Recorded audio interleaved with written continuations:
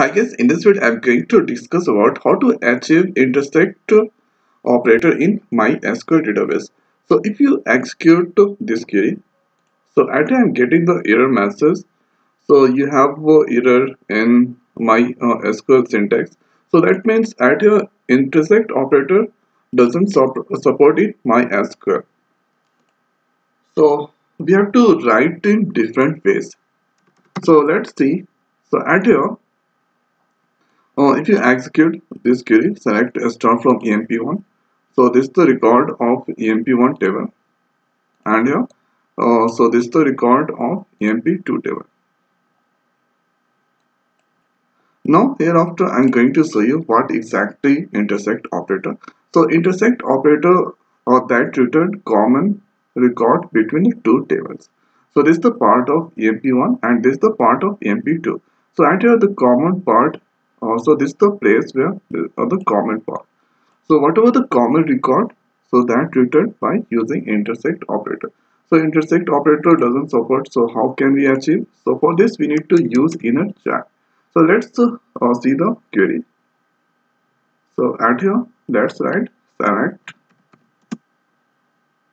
so select id and your name and your email email from or table emp1 and hereafter let's write inner join so about the inner join i already discussed in my uh, previous video. So please check that. So write your inner join with emp2 now hereafter you write on cross.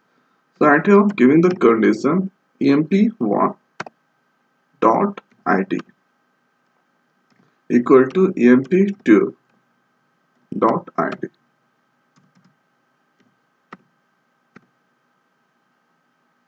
now if you execute this query.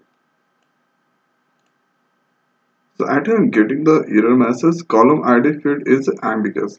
So at here I'm getting the error message because id uh, at here id is for uh, emp1 or emp2 table so it it doesn't recognize.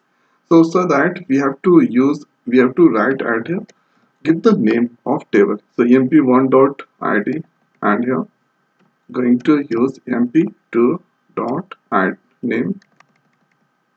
And here emp1 dot email. Now if you execute so here i'm getting uh, oh this is this output id name email.